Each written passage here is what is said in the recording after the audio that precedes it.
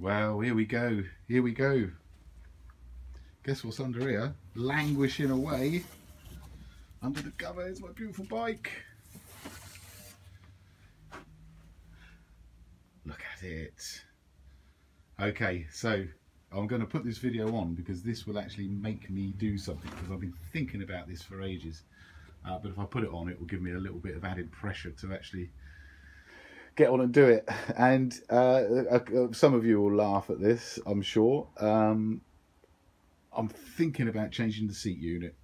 Um, so, yeah, right. Uh, what have I done? let's talk about the bike. So it's uh, I've done 830 odd miles. It's done. So not a massive amount, but it's been fantastic every time I've been out on it. It currently has no MOT. Uh, I've got a little bit of playing the rear wheel bearing I've got to sort out. And like a freaking numpty, I let the battery go flat.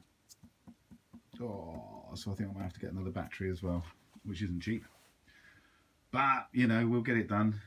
Um, so over the next couple of months, uh, I'm going to get it back on the road again uh, for the summer because I'm not riding it, uh, you know, at the minute anyway. So it, there's no rush. but whilst I've taken it apart, because when I look at it, every time I look at it, the, yeah, the seat unit annoys me more and more and more. Doesn't annoy me more and more and more, but I, it's the bit of the bike that I like the least. Uh, if you see what I mean. So I was thinking about building a whole new bike, leaving this one exactly as it is and building a new one, but I just can't afford um, uh, to buy another one to to start on it at the minute. So I need to I need to get some money up to buy another one. So I figured what I'll do then I'll change this, and so I like this more. I, I love it, but so I like it more. So we are actually going to change the seat unit. For those of you that hated the seat unit from the start, You'll be glad to hear this. Um, this I love. This I love. The front, the way that it goes around the front is good.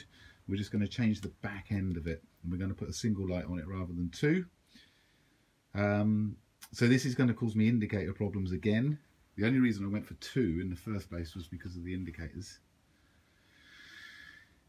So that that's what we're going to do it. We're going to change it what this means is because I'm putting the Christmas decorations away at the minute, the mould, the old mould for this seat unit is in the uh, is in the loft somewhere. So I'm going to find it.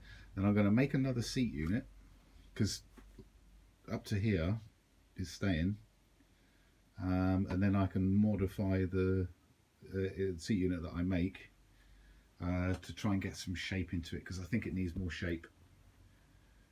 It's this flat edge across the back that winds me up. Okay? Okay so that is what we are going to do. So there are going to be some more bike videos. Uh, they will all be fiberglassing videos.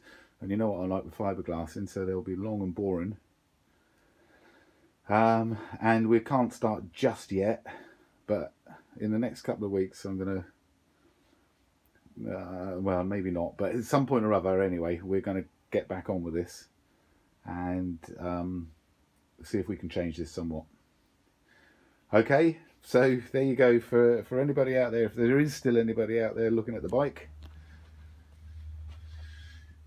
Yeah, oh, she's gorgeous. She's still gorgeous. But she's languishing under a sheet at the minute. So, let's have a think. I've been thinking about it. I'm thinking of going like 1960s sci-fi sort of I'll explain it. When we get to it, I'll explain it. Okay, I'll speak to you soon. Ish. Maybe. Probably.